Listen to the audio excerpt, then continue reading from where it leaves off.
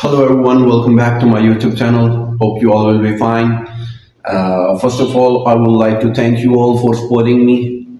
And if you are new to my channel, please subscribe to my channel. And I request you to watch the full video. It's me, Zan, the financial analyst, and I will tell you about what's happening in the Iraq and uh, when actually the revaluation is happening and all the news is related to Iraqi dinar revaluation. So without wasting our time, let's start the video. In recent news, a significant development is taking place within Iraq's financial system, particularly concerning the exchange rates and the management of foreign currency. The Central Bank of Iraq, CBI, is preparing to issue new decisions that will likely shake up the parallel market. These decisions aim to curb currency smuggling and prevent the hoarding or monopolization of foreign currency by opportunistic individuals or groups. The key takeaway here is that the central bank is focused on protecting Iraq's economy by regulating how foreign currency is traded within the country. Let's break this down further. First, what exactly is the parallel market?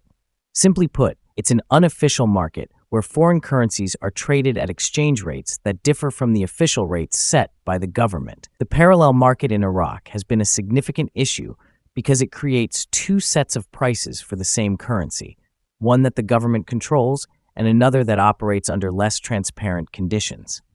This often leads to currency being smuggled out of the country or monopolized by those who exploit the disparity for personal gain. Now, with the central bank's upcoming decisions, we can expect this parallel market to face disruption. While details about the specific measures are not yet clear, the fact that the central bank is targeting currency smuggling and monopolization suggests a tightening of controls. The CBI is likely looking at more stringent regulations for foreign currency traders, possibly introducing new mechanisms that will make it harder for currency to flow out of Iraq illegally. This is important because currency smuggling has a direct impact on the country's economy, especially on the strength of the Iraqi dinar. When foreign currency is smuggled out of Iraq, it reduces the availability of that currency within the domestic market. This can cause an artificial shortage, driving up the exchange rates in the parallel market. As a result, ordinary Iraqis face inflated prices for goods and services, particularly those tied to imports. By addressing this, the central bank aims to stabilize the currency exchange rates and ensure that the average Iraqi isn't negatively impacted by these manipulative practices.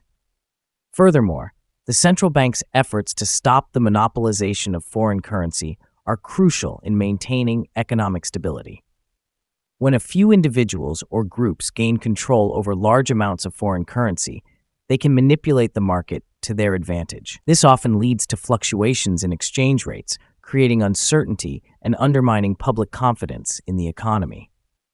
By issuing new policies that limit these monopolies, the central bank is attempting to prevent a handful of players from holding the economy hostage.